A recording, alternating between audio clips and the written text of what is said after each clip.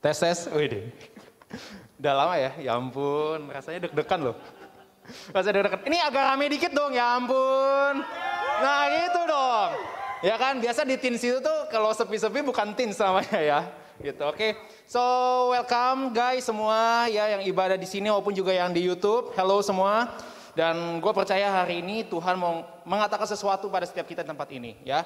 Jadi sebelum itu yuk, uh, eh, gue mau mengajak setiap teman-teman tempat ini kita berdoa ya.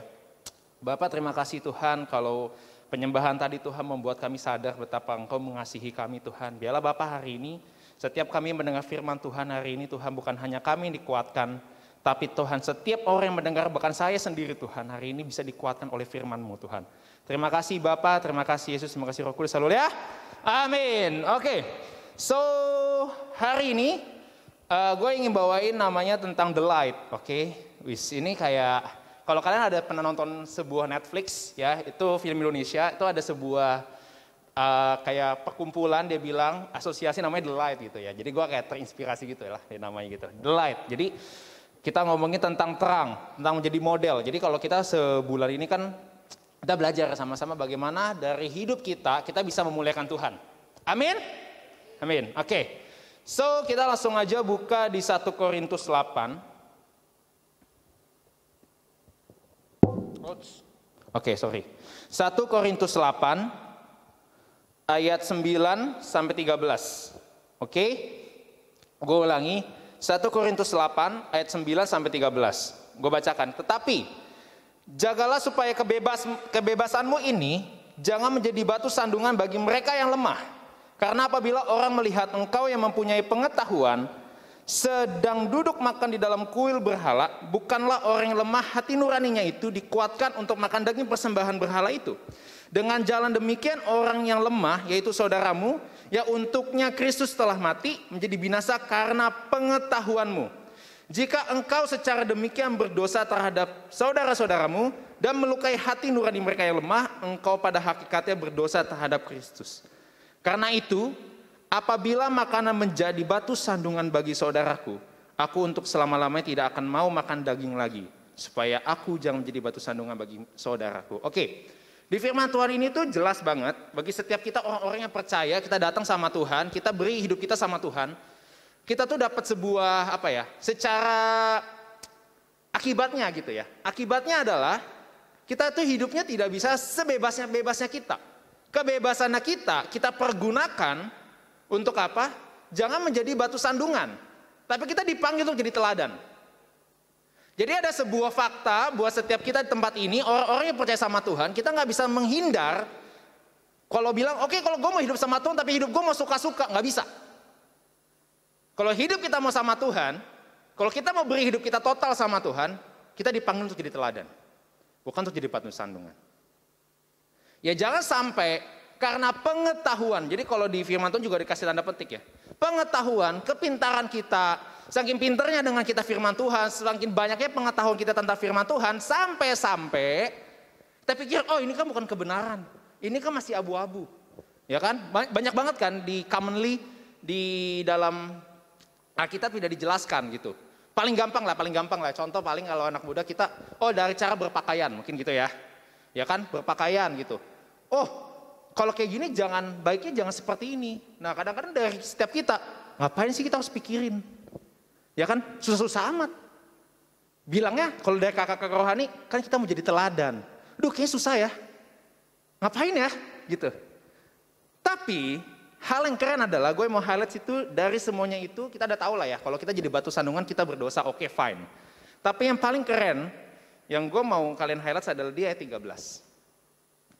Karena itu apabila makanan menjadi batu sandungan bagi saudaraku, aku untuk selama-lamanya tidak akan mau makan daging lagi. Supaya aku jangan menjadi batu sandungan bagi saudaraku. Ini Paulus yang tulis, dan ini keren banget. Karena apa?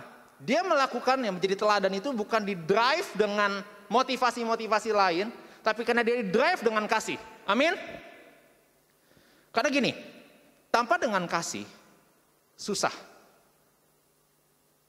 Dia bisa melakukan hal seperti itu karena apa? Karena dia mengasihi.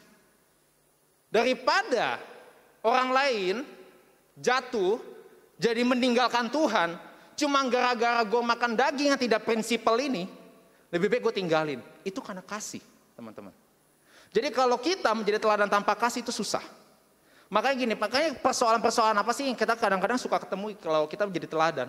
Ya kadang-kadang persoalannya adalah kadang-kadang susah, ya pasti susah lah ya. Susah, sulit, karena hidup kita gini, kita bebas betul, ya kita tidak lagi dibelenggu dengan dosa segala macam. Cuma bukan berarti kebebasan kita sebebas-bebasnya kayak nggak ada aturan. Bukan begitu. Dan kita mungkin ada orang berpikir, aduh kayaknya susah karena gue belum cukup, gue belum ada di sana, gue belum capable untuk melakukan hal seperti itu. Atau ada lagi yang satu lagi mungkin berpikir, ngapain sih gue mikirin orang lain? Sepanjang gue tidak merugikan orang itu, orang itu tidak sakit gara-gara gue, orang itu tidak menderita gara-gara gue, orang itu tidak sial gara-gara gue, ya udahlah.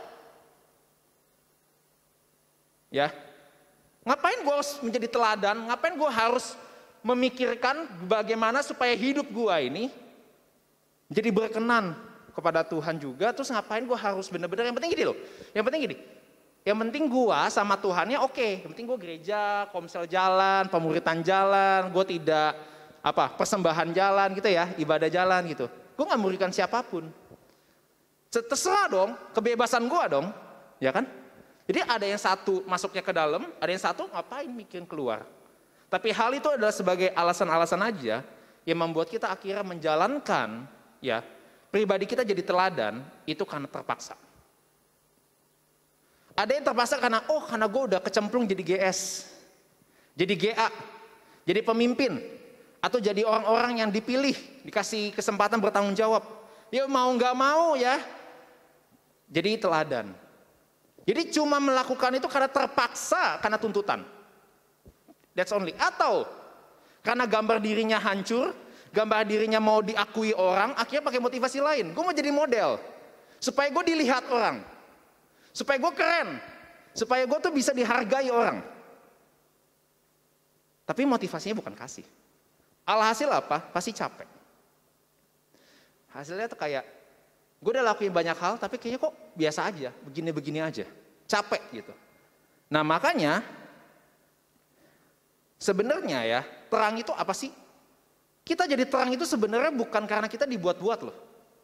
Ya kan? Karena apa? Lampu yang pura-pura terang itu pasti dibuang. Ada lampu, dia pura-pura terang ya, kedap kedip, kedap kedip. Apa yang kita akan lakukan? Kita bakal ganti, kita datang ke toko listrik, uh, Pak, Bu, ini bisa digaransi gak tuker gitu sama lampu yang beneran lampu gitu loh.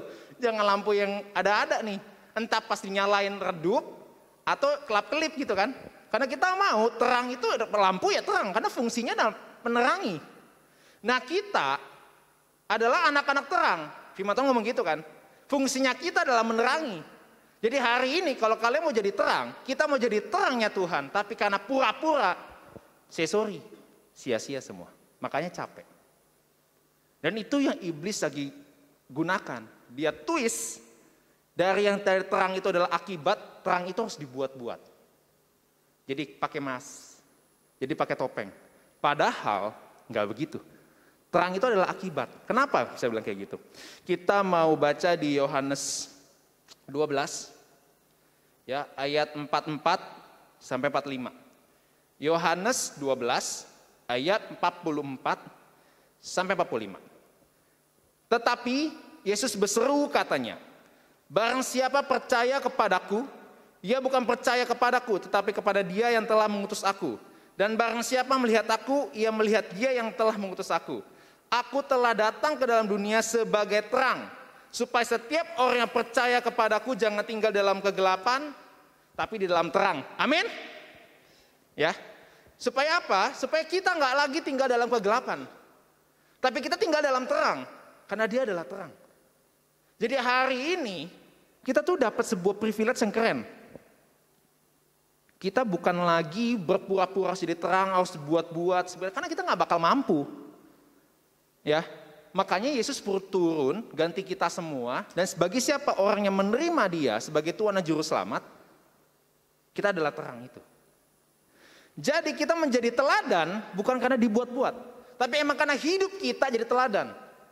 Kita orang yang jujur bukan karena dibuat pura-pura jujur, tapi memang kita orang jujur. Kita belajar hidup dalam kebenaran. Kita mau hidup dalam Tuhan, kita jadi terang karena kita mau. Bukan cuma karena tuntutan atau cuma karena tanggung jawab. Hal itu akan apa? Bakal capek. Tapi cuma karena kasih doang. Itu yang selalu menyegarkan kita. Dan lucunya ketika kita jadi teladan, Tuhan yang memuliakan hidup kita loh. Ada berkat di sana loh. Ada kuasa di sana.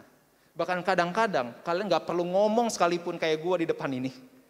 Ya, dari hidup kalian aja orang bisa lihat. Oh, gue masa diberkati sama hidup lu.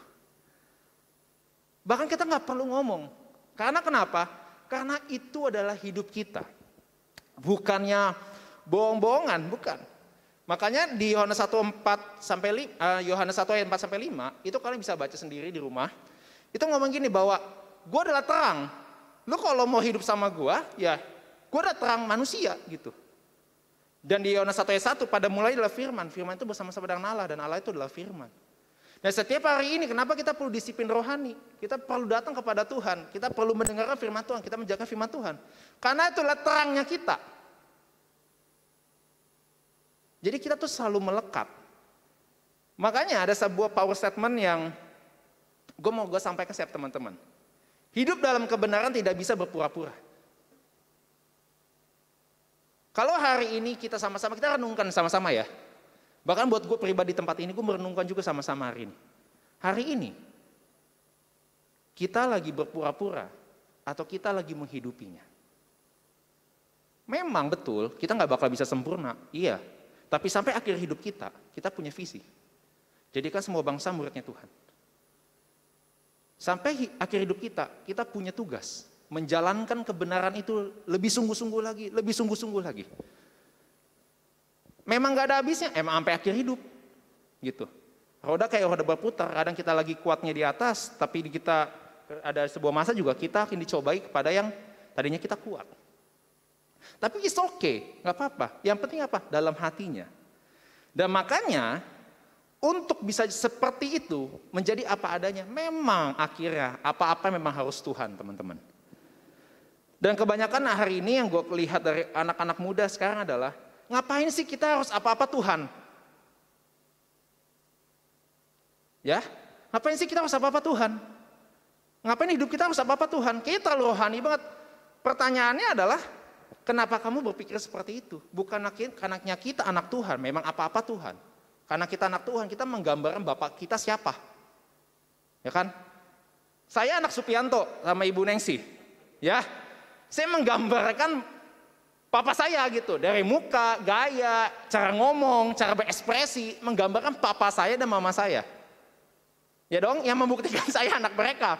Kalau gue tidak menggambarkan bapak sama mama gue, jangan-jangan gue anak siapa kan begitu. Ya kan pertanyaannya? Jadi memang apa-apa harus Tuhan. Makanya di Roma 12 ayat 1 sampai 2, gue mau bacain tentang the message versionnya dan ini keren banget. Gue baca pelan-pelan ya. So here's what I want you to do. God helping you take your everyday, ordinary life, your sleeping, eating, going to work, and walking around life and place it before God as an offering. Gila keren banget ya. Ya, apa sih menjadi persembahan tubuh? Kan kalau di bahasa Indonesia nya sebenarnya berikan ya persembahan hidup lu kepada Tuhan adalah persembahan tubuh lu kepada Tuhan. Maksudnya apa? Your ordinary life. Kebiasaan hidup lu gitu. Ketika lu lagi tidur, lagi makan, bekerja, bahkan lu lagi mengerja, lu lagi berjalan dalam kehidupan lu, berikan itu sebagai persembahan yang hidup buat Tuhan. Jadi pikiran kita bukan bagaimana caranya kita bisa impress orang atau bagaimana caranya kita jadi modal teladan enggak, enggak usah. Gimana caranya supaya hidup kita terus apa menjadi persembahan yang hidup buat Tuhan. Gitu. Ingat aja Tuhan. Gue mau makan, gue ingat Tuhan. Apa-apa gue ingat Tuhan, gak apa-apa. Libatkan Tuhan. Bukan berarti kayak lu doa tutup mata setiap jalan, ya enggak juga. Ya, melibatkan Tuhan tuh, Tuhan tuh nggak sekaku itu teman-teman. Ya, tapi hari ini, di dalam setiap kehidupan kita, kita pasti punya celah untuk melakukan dosa. Mau nggak? Ketika kita tahu ada dosa, kita libat Tuhan. Tuhan tolongin gue nih. Ini kayaknya gue bakal jatuh nih. Itu persembahan hidup sama Tuhan. Dan ketika kalian lakukan, itu otomatis kalian jadi teladan. Nah kerennya lagi, dia ngomong gini. embracing ya what God does for you is the best thing you can do for him. Lakukan yang terbaik. Yang lu bisa lakukan untuk Tuhan, bukan untuk orang. Untuk Tuhan. Poinnya adalah ke Tuhan, bukan ke orang. Ya. Buat Tuhan. Don't become so well adjusted to your culture that you fit into it without even thinking. Gila ini lebih keren lagi dia ngomong. Jangan cuma langsung apa berpikir gimana caranya gue bisa match dengan culture yang ada. Oh culture yang ada lagi zamannya nge-vaping. Oke gue vaping aja biar keren. Gak perlu. Don't even thinking. Yang penting keren aja. Yang penting diterima. Enggak, enggak, enggak perlu. Lu nggak perlu menjadi pribadi yang fit in di culture-culture yang bukan kebenaran.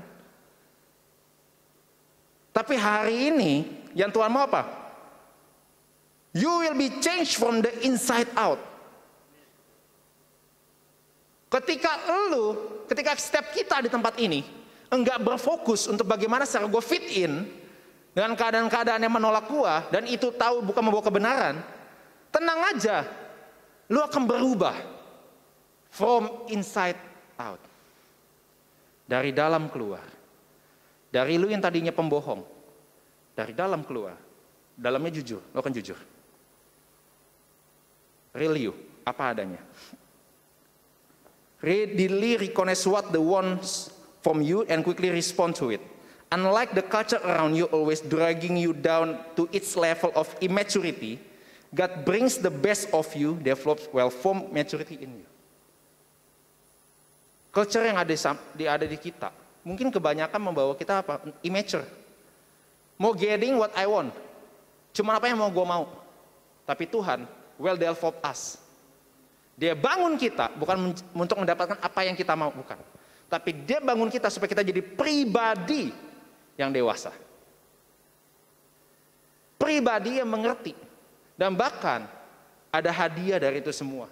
Gue percaya gini, Tuhan tuh bukan Tuhan yang jahat, yang gak mau anaknya gak diberkati loh. Dia tuh mau anaknya diberkati. Dia mau anaknya bisa menggenapi janji Tuhan yang dia udah dijanjikan dalam setiap hidup kita. Tapi jangan-jangan yang membatasi itu adalah kita sendiri. Karena apa? Kitanya yang gak mau berubah. Kitanya nggak mau libatin dia. Nah, so hari ini uh, gue mau panggil ya sahabat gue yang keren, yang ganteng gitu, wes. Boleh tepuk tangan yuk, boleh buat Yusuf, Yusuf, asik ya. Jadi khotbah gue selesai akan ditutup oleh Yusuf dan akan berdoa oleh Yusuf ya. Yusuf siap ya Yusuf?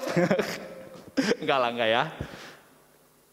Oke, jadi hari ini gue minta Yusuf ya untuk bisa bersaksi sama setiap kita karena dia mengalami lah apa yang sedang ia alami di bagian ini.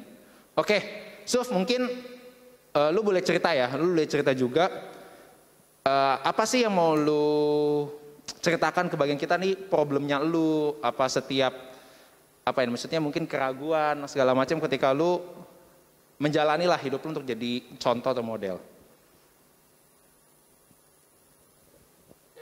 Uh, halo teman-teman, ya gue mau cerita bagaimana pengalaman gue ketika gue uh, hidup dalam terang gitu. Jadi bisa dibilang selama ini ketika gue hidup dalam terang, gue hidup bukan karena uh, gue mau hidup dalam terang atau hidup dalam ke kebenaran gitu ya. Jadi gue hidup dalam terang ya karena ada faktor-faktor lain. Salah satunya adalah dari Abraham bilang ketika gue hidup terang, gue hidup gue merasa terpaksa gitu. Oh gue gue GS, gue gue orang pemimpin, uh, gue punya anak bina, jadi gue merasa ya hidup terang tuh harus gitu loh. Hmm. Yang kedua adalah uh, ke, gue merasa ketika gue dalam terang ada maksud-maksud yang secara nggak langsung uh, gue mau dapat pujian dari orang gitu supaya gue dilihat orang oh Yusuf tuh sabar uh, baik ini gini gini jadi kenapa gue bisa berpikir seperti itu karena ada problem gambar diri yang dalam diri gue yang sebelumnya belum pulih gitu ya. jadi di mana dari gue kecil gue terlalu selalu terobsesi untuk bagaimana gue bisa jadi orang yang gak ada kekurangan gitu ya sempurna lah bisa dibilang orang gitu ya which is yang yang gak bisa aku dapetin sendiri gitu jadi hmm. gue selalu uh, lakuin bagaimana hal mau itu benar mau itu enggak mau itu dari Tuhan atau dari pokoknya semua untuk gue lah gitu. jadi okay. jadi apanya yang, ha- yang harus sebenarnya gue lakuin A, tapi gue kesampingkan untuk diri gue Oke. sendiri. Nah, ketika lu mulai cari nih ya dengan berbagai cara supaya lu menjadi pribadi yang lu buat sebenarnya apa ya? Pribadi yang sempurna. Ya, Ya. ya. Nah, hasilnya apa? Pasti seneng dong awalnya dong kan. Ya, Akhirnya apa yang gue dapet, gue dapet. Bisa- nih. dapet, Yes. ya, oke. Jadi, tapi makin kelamaan mulai ngerasain kayak lu tadi capek ya. Jadi kan ka- karena gue selalu pakai topeng, bahkan saking sering gue pakai topeng, gue sampai lupa kalau itu tuh gue pakai topeng gitu loh. Jadi, Oke. jadi gue sampai lupa kalau itu bukan gue gitu. Jadi, ka- jadi mel- makin lama makin capek ya. Karena ya ketika gue mulai sadar, oh ternyata gue nggak begitu. Dan akhirnya ketika gue sadar ya gue mulai menyalahkan diri sendiri. Jadi jadi down, jadi ya emang gue kayak gini lah, gue emang nggak bisa lah gitu. Oke. Nah, so setelah lu mulai mengerti, lu tahu nyata ini salah, ini cuman apa ya? Bagian dari topeng yang lu pakai dan lu capek. Terus abis itu apa yang sekarang lu sedang perjuangkan dan lu sedang bangun ke depan? Kalau belakangan ini gue lagi belajar simpel sebenarnya. Gue belajar untuk jujur ya, jujur eh, hidup transparan, jujur dengan apa pun yang gue pikirkan, apa pun yang gue rasakan, apa pun kalau memang Yusuf nggak bisa ya nggak bisa gitu loh. Jadi eh, belajar hidup apa adanya di depan orang lain, bahkan untuk diri gue sendiri gitu. Enak nggak? Enak pasti. Awalnya, awalnya kan masih belum terbiasa dong, kayak Ah. aduh masih masa nggak enak gitu terpaksa karena masih ke bawah pola yang lama. Tapi memang ke sini gue mulai ngerasa, oh ketika gue mulai jujur, orang lain nggak nge- ngejudge gue ya, orang lain malah terima gue dan hal itu pun membantu gue untuk bisa gue bisa bertumbuh lebih lagi gitu. Oke. Oke yuk boleh tepuk tangan buat Yusuf yuk. Thank you banget Yusuf buat kesaksiannya. Oke. Tim Profetik boleh. Udah siap-siap. Udah, udah mau selesai. Oke teman-teman jadi gini.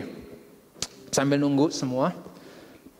Satu hal apa yang kita bisa pelajarin dari kesaksian Yusuf adalah gini. Hari ini dia belum sempurna. Ya. Hari ini dia masih memperjuangkan untuk menjadi apa adanya.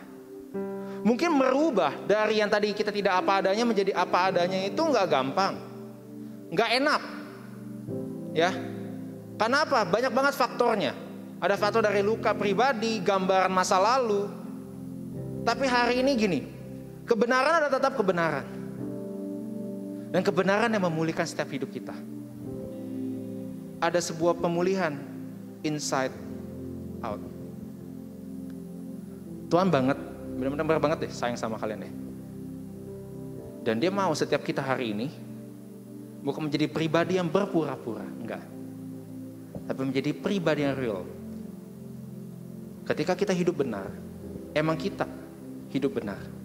Dan di dalam kebenaran ada berkat di sana. Di dalam kebenaran ada janji Tuhan di sana.